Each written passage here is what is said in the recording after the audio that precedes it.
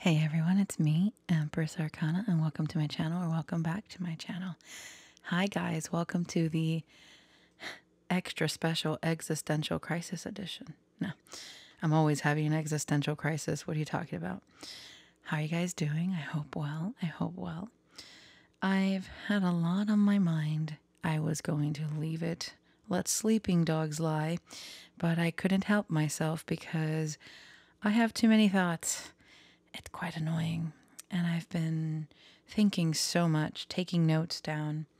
Earlier, I was listening to Savage Garden, just vibing and looking at my my natal chart, looking at the transits, all that all that jazz.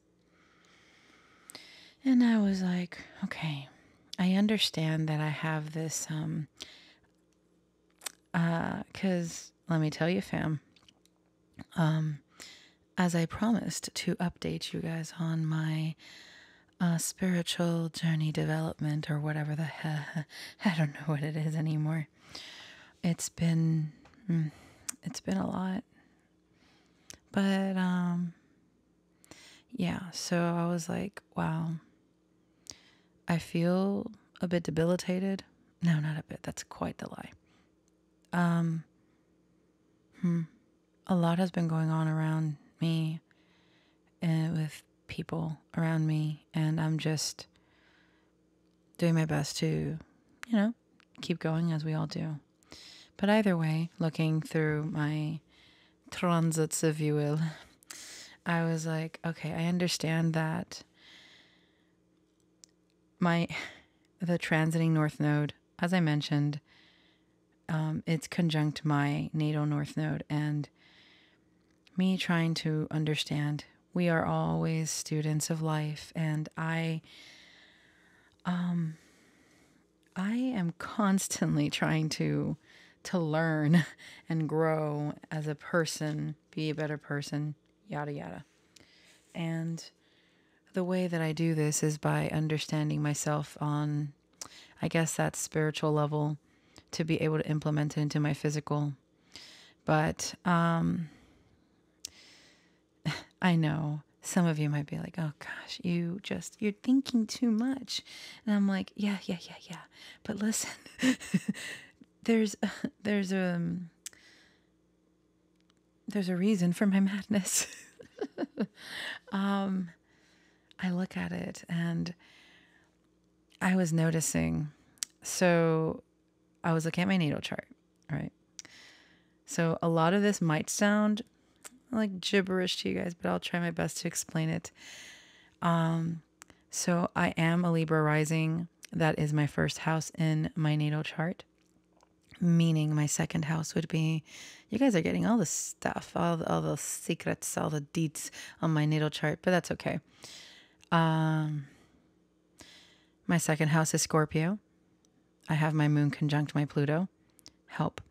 Um, and then I have in my third house um, okay, that one doesn't count. I would listen. I'm looking at the chart. I'm like, I forgot. I, I added some some asteroids, and I was like, listen, I was just doing a little bit of research on nasty asteroids, and I've spoken about this before. Hey, yo, it, it's okay. No shame here. I was just looking at, you know, some interesting colorful asteroids to uh, decorate my natal chart because I have apparently I have my lust asteroid in Sagittarius as well. But what I do not know why I'm sharing this, but I have here my Juno, my Saturn, my Uranus, and well, because it's there, because I forgot to uh, take the code off while like on it uh, on the website. So lust is there too. And it's like, yo, what's up? They're all retrograde. I'm like, oh, thanks. That's great. That's fantastic. I remember reading up on. I mean, it's fascinating. I love looking into this stuff so I can get. It's um, it's as I said. Excuse me. It's as I've said before. I love seeing um, certain things that just ring true to me. Doesn't mean that it's like okay, well that's set in stone and whatnot. It's just interesting. I find it um, added. Um, it's a you know, it's like sprinkling into what I already know about myself. Um, so my Juno asteroid and Saturn are conjunct in Sagittarius. All these planets, um, Juno, Saturn, and Uranus are all retrograde. So is Lust. Like, I don't even, I have my intuitive opinion on that, but I will not discuss it here. um, but Juno and Saturn retrograde conjunct, I read up that, and I took notes on this as well because I found it very interesting for myself that I am um, people with Juno and Saturn um, conjunct, and not even talking about retrograde. That's just an added bonus for me because I have so many things retrograde in my chart. And I know I've already mentioned that, but in um, just to bring bring that back up into the conversation. Uh, retrogrades are just energies that take longer to, like the lessons of each of the planets or asteroids or whatever is being implemented into your natal chart uh, from these energies, if you will. Um, they're just, these lessons take longer to process um, in your lifetime. And, um, but as I've said before, once you learn the lesson with a retrograde, it sticks. so there's that. There's a positive. It's not, I used to be very sad that I have, like, I literally have five planets retrograde on my chart. And I'm like, God, that sucks. um, but I've learned to accept that, yeah, it's taken, I'm a, you know, it's taken longer for me to develop certain things in life. But that just means that this is going to stick with me because I learned like there are things in my life at this point like I'm 37 years old. This is the moment that I'm learning about certain aspects of myself that I didn't even think I was ever going to develop in this lifetime. Um, and it's refreshing, it's scary, it's a lot of things. And I'm here like, wow. So I can experience this, it'll stick. The lesson sticks. So again, with Juno and Saturn, um, I read somewhere that it's because Juno is about commitment and what you seek in a partner. Um, it's just, and with Saturn being that structure, that, um, what's the word? Mm. I, um, it is the hard lessons and being able to create this structure in the, the hard lessons, the, the structure in your life in terms of what house it's in and whatnot. All this is in my third house of communication. Whoop de doo. and that that's just funny to me because then I have basically my natal chart is all flipped, um, where for example, I do not know why I'm going off about this. It is not the time to do this, but whatever. Um, where Libra would be the seventh house of partnerships, relationships, and so forth. I have that in my first house, where that would be Aries. So I have that flipped. So I have all these energies, and on the flip side, so they're in opposition. Yay me! Um, I've I've taken this as more lessons. So literally, I look at my chart, and I've learned to love my chart. Um, oh, I hear the tippy tappers. Has my my girl decided to join me? Nope, she left. she said, "No, you talk too much." Oh, oh, the excitement. I hear the tippy tappies. anyway, uh, so she's so cute. Uh, because it's an opposition there is this tension. It's it is uh, an opposition is considered a hard. It's considered a I can't speak hard aspect. I had a moment there. I couldn't say it. Uh, it's it's considered a hard aspect in astrology. Um, to so the lessons of Libra are now being implemented into the first house of self. So it's a lot of lessons. I look at my chart. I'm like, great, more lessons for me to learn. Ah, great, I'm I'm ready. Let's go. Mm. No, I'm not ready. Never ready. So, hmm. I just imagine myself. I'm like, okay, I'm going on a like a spiritual quest. I'm gonna become a monk or or a nun. I thought about becoming a nun at one point when I was younger. I was like, might as well, right? Um, anyway, but with um, my my interest in the occult, that would be that would be something. Um, so all right, back to the point. Yeah, my third house of communication. But yes, uh, lessons. Yeah, yeah, yeah. Juno and Saturn. The hard lessons of commitment, of marriage, of what you want. Because I have this conjunct, it is not a negative aspect, but because they're retrograde, it has taken me longer to, um, to learn about these concepts, or, or, or, or, or more of it's not easy for me to just um where let's say people do casual dating and stuff like that that has never been me. I'm not that person. I can't. Um it's something where i need to be sure and because this uh third house uh sagittarius energy it's fiery it's great it's but it's in communication. So it's very important for me to have a sense of um, stability with communication and knowing as long as I know what I want and being able to communicate that with um, partnerships and commitment and whatnot. So there's just there's a lot there's a lot to uncover in a chart, and it's pretty cool if you guys are into that. Um, but I was just looking at my chart and I'm like, uh, what's going on now? Oh, Snapple Wapple Pop. Let me turn that off. Sorry. Uh, so let's see what else. Uh, I was looking at the transits, and what of the transits stood out to me, other than Pluto wrecking everyone? like, get wrecked. Pluto is just like retrograde, and it's like, you know, it's all good it's all good in this neighborhood. Uh, I'm like, no, it's not. You're in my fourth house and it hurts. Get the fuck out. um, yeah. all right, enough of my chart. I thought it was just interesting. I also have, uh, let me see. Yeah, Chiron, the wounded healer asteroid, also retrograde currently, and it's still in Aries. Um, I should do transit updates. That'd be pretty cool. That'd be pretty neato. Um, hmm. I've been wanting to, but the inspiration for that is like meh. the inspiration for a lot of things are meh right now because I'm just like, who am I? Where am I? Why am I? no, um, hmm.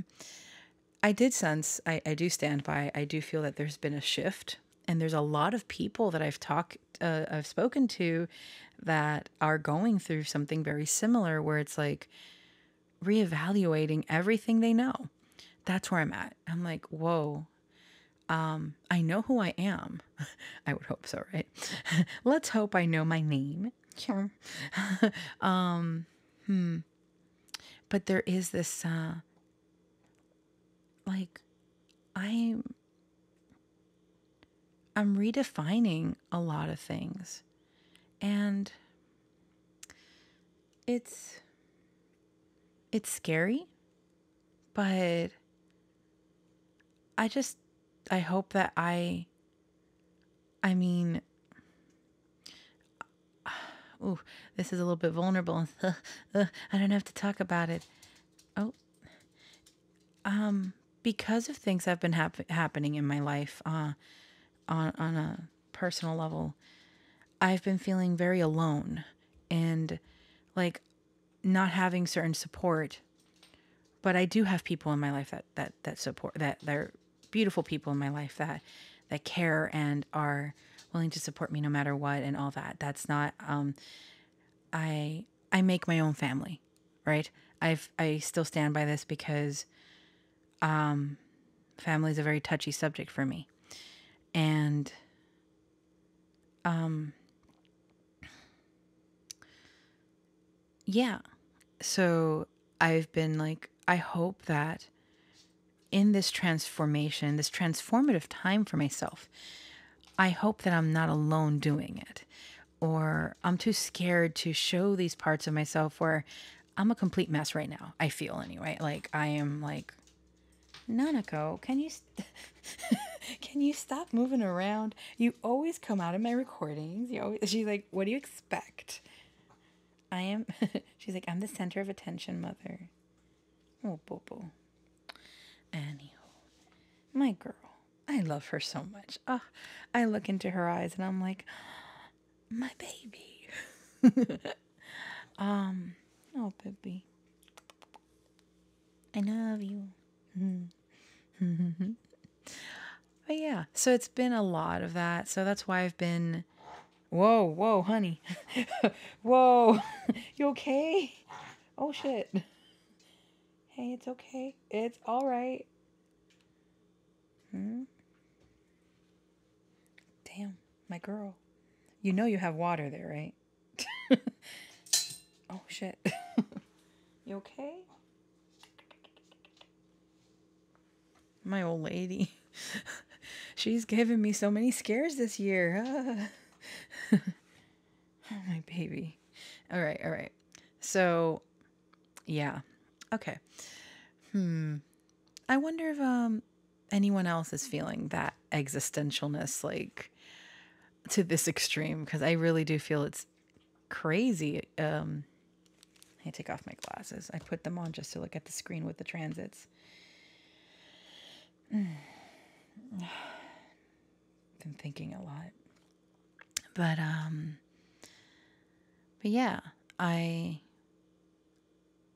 I have um I got into a discussion with um a family member and it was a little bit heated and where I've spent my whole life never taking much risks of, of you know and I I realize that what do I have to lose, right?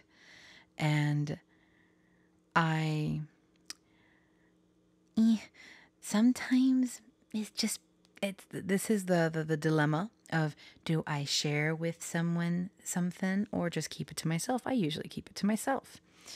Um, but sometimes you just wish you can talk to someone, right? And well, this didn't go as well as I thought it would. And it was a little it was a bit negative and it was a bit of a downer. But I'm still standing strong on my resolve, baby.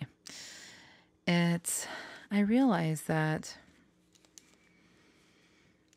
knowing these secrets of my mom and dad now before they passed and I'm just like I love my I love my parents rest their souls but I know they were selfish they kept me for themselves hidden from the world and I am now the one suffering for a lot of the things. That doesn't mean I don't love them. I don't know why I'm sharing this shit.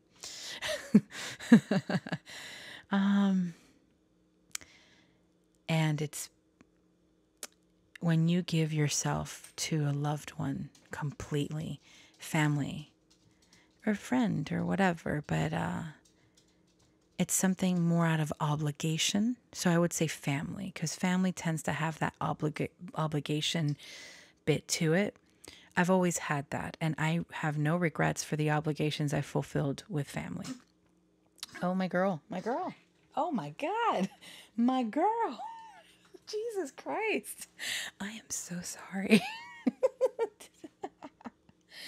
oh my God.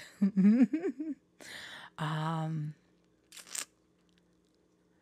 and it's, hmm, what I've been asking myself in many aspects, because it seems to be the question when is it going to be my turn to put myself first? And that's what I've been. Mm, ooh, I did not. Oh, I'm not gonna get sad. I'm not gonna cry. Mm-mm-mm-mm. Not gonna cry. Mm-mm, no. So that's where I'm at. so this is why I'm having the the biggest existential crisis of my life.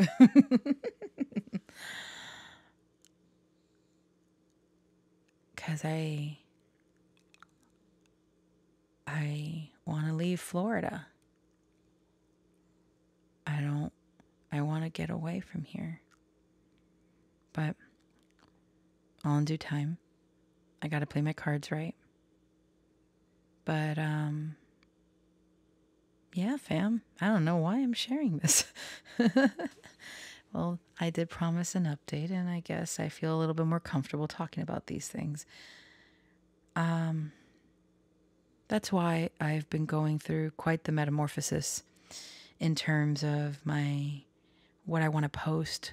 Do I even what do I want to do with my channel, if anything at all? Right now I'm just posting whatever whatever I feel like.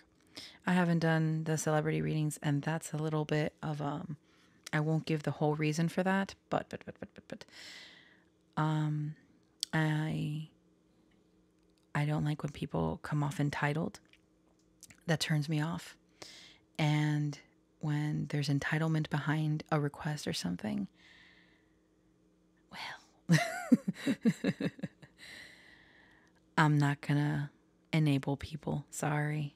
So I'm kind of like, mm, I like I like doing the celebrity readings, but people become very um oh, this is tea, and I'm so sorry. But then you know what? Not many people listen to this stuff, so it's okay. I don't like entitlement. I don't like when people are on their high horse. I'm like, oh, really? I'm going to knock you down a peg, baby. No way. I don't like that injustice. I don't like that. Oh, Nanako. And I know that sounds very like, who are you to? It's my content. I can do what I want. So it's been a lot of I've listen, I've gone through and I've spoken about this before. I've gone through nasty messages, death threats. I've gone through so much just because people attach themselves to a celebrity. I'm just doing it for fun, fam. I'm if people are going to get like that, I don't want to do readings like that. That doesn't mean I'm not going to, but I don't like that vibe, yo. Mm-mm. Um, so I've held back on that because of the obsessive energy that a lot of people have come at me with. And I do feel uh, I apologize for anyone listening that does like the celebrity readings. Um, this is just something I've been battling with for um, almost um, since I've um, I think after the first year I started doing them. Um, no, Mm-mm. I got too much going on in my in my head for for drama that I didn't sign up for. Uh, all I want to do is heal people. All I want to do is tell a story.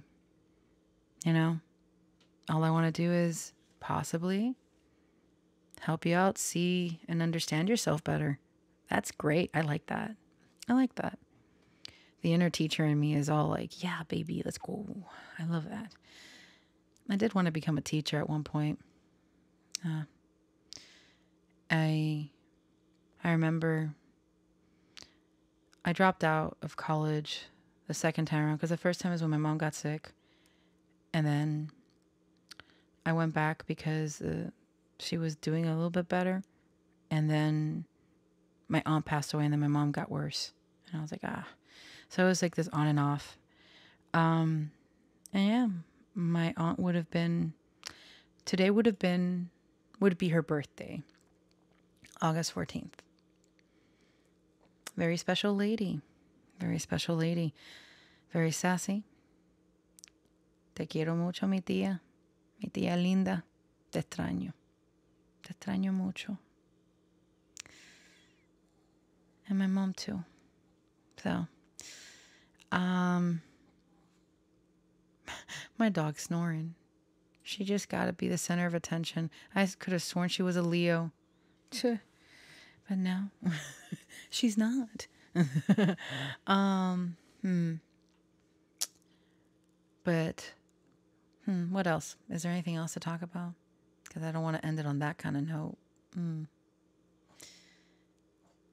Nanako. Oh, oh gosh. Well, first, then I killed another one of those big ass spiders. Bruh. No.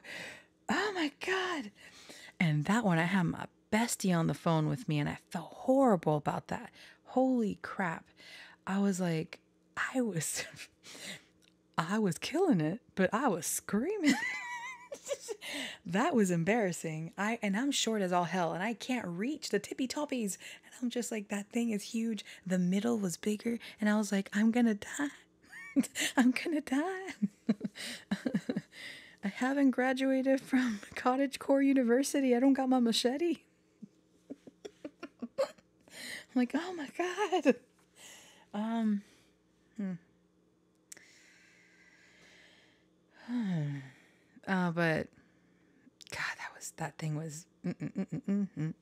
Now I'm just like paranoid, looking at the walls. Like every five seconds, I'm like, oh God. um, hmm. Nanako. Well, something that was really nice. Um, I received a very, very beautiful message from a client, and that warmed my heart it's been, and that's another thing that I've been, you know, kind of struggling with too, fam. I love what I do. I love doing readings. I love, you know, doing comfort letters, comfort readings, what a, you know, what have you. But um again, when people start you have no control of what people, you know, a client is a client and I respect that and but you know, if they don't respect my boundaries, I'm not going to take that client. So sorry. I've gotten to a point in my life where if you don't respect me, why do I have to? Well, I don't want to say it like that, but I won't be taking clients. I've, gosh, I won't be taking clients if they're not respectful and they're not respecting my boundaries. And let me tell you guys, I'm very open minded. It takes a lot for me to be like, mm. it takes a lot. I have a lot of patience. I'm very good with, um, um, dare I say, I'm, um, what's the word? I feel I can handle certain situations very well, um, with respect, with uh, with care. But when I feel that that boundary being crossed and that they, you know, they start acting a certain way, I'm like, no. And I say this again, and I'm expressing this because it's important to have boundaries in every way, shape, and form, whatever in life. And I'm too old for this shit. so it's always very nice when um, a client uh, leaves a beautiful review or they leave me a beautiful message in response to what I've done for them, and being told that my comfort uh, like my comfort character readings or comfort readings or whatever my readings are very healing for them. And that excuse me um, it helps them through very dark times in their life and whatnot and it's just like it is a very beautiful beautiful thing. And I'm very glad that I can do that because that just means I'm doing something and I am fulfilling something. It's what I want to do. It's the reason why I do this stuff. Um, I've been, you know, more restrictive of who I take in as clients. Yes, absolutely. Because I got to protect myself too. Um, but it is always a pleasure and an honor when I can read for someone and they trust me and I can help them see things that they might have overlooked or uh, bring to light something. You know what I mean? It's that's a very a very beautiful feeling, and for them to feel seen or heard and loved and comforted, um, very important. And I'm very glad I can do that. It means so much to me because I know personally, excuse me, I know personally how it can be when you need to reach out to someone, but you don't know how.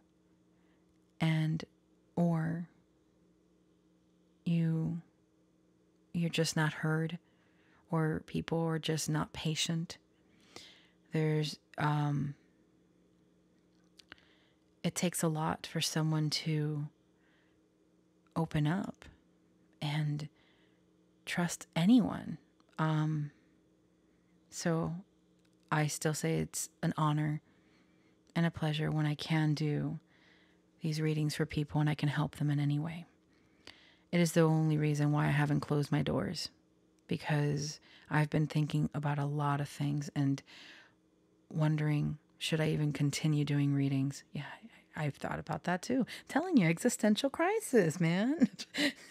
but then I'm like, but damn, that's what I've, that's what I do. That's what I, I mean, it's not the only thing I do, but it's, it's what I've always wanted to do. But I've also always wanted to write and just publish my novels.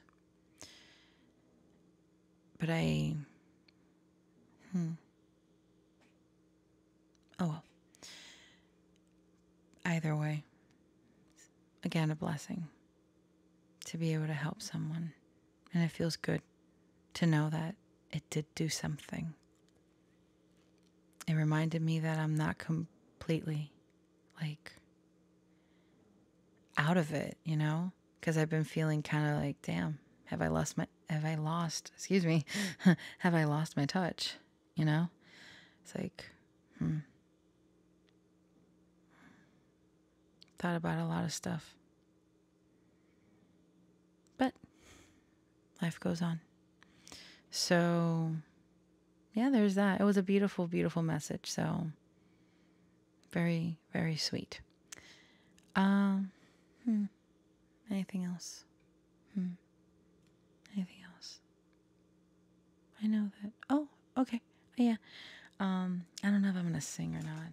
Um, it's late and Mm-hmm. Mm. Sorry. There was a song I was listening to that that's actually what got me like, okay, I want to record something. Mm. Sorry, my head hurts. Um hmm. It was what I was talking about um or what I've been feeling. Mm, this desire to take a leap of faith. Um, there's this line from a Luis Fonsi song. It's called uh, the the the song is called "Dime que no te irás." Tell me that you won't leave. Um, and hmm, this part. Hmm, it is a love song. But hmm, let's see if I can do it. Um, abrázame demasiado que me perderé sin ti. Ayúdame a seguir. Hmm, quédate conmigo. Hmm. Que me perderé sin ti. No sé lo que haré sin ti.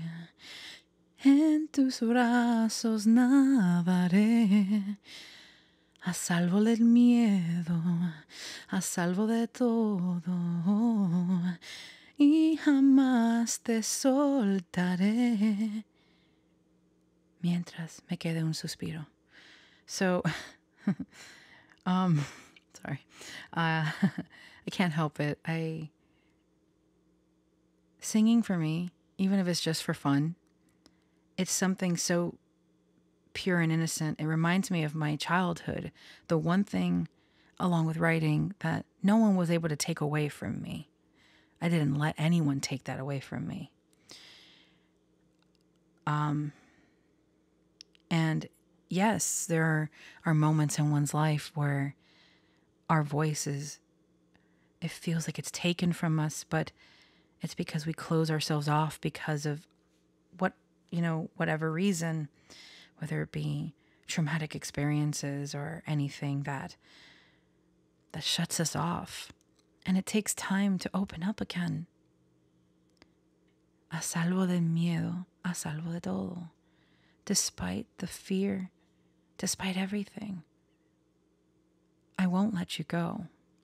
It says, as long as I have my last breath, my like, I, as long as I can breathe, I won't let you go. I won't let this go. That is the vibe. That is what I'm feeling. That is the desire I have within. I don't want to let this that I'm feeling go. I'm not giving up on what I want. I'm going to keep going. I'm going to keep striving for that better tomorrow, baby.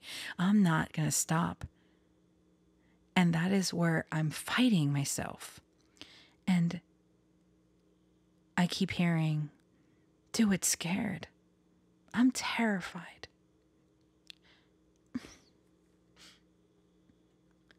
But I won't give up. And I hope that if this message can help anyone, don't give up either. Whatever it is that you want to do for yourself, you're more than deserving of this thing that you want, this person that you want, whatever it is that you want. Do this for you. Explore the explore and and take steps toward what it is that your heart desires. And don't let it go. All right, that is it. I feel so silly, guys. But that is it. That is it, my dears.